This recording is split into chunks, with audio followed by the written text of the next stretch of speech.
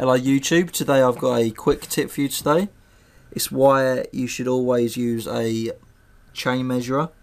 It's very important to keep an eye on if your chain stretches because if it reaches a certain distance it can damage all sort of things such as your teeth on your crankset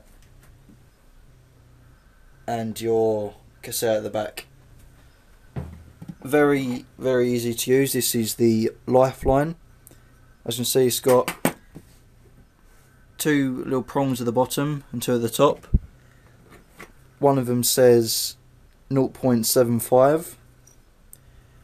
The other one, one says 1.0. This uh, there is a percentage. Basically, this means 75%, and this means 100%.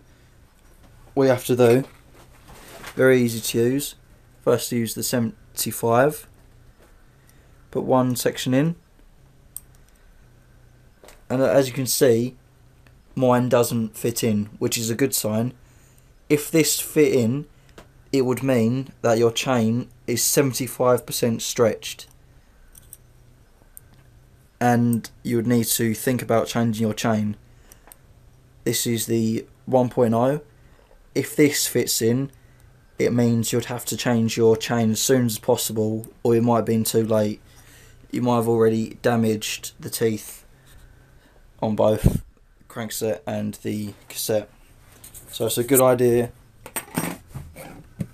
to make sure you keep an eye on your chain, see if it stretches, so it won't damage anything. Thanks for watching.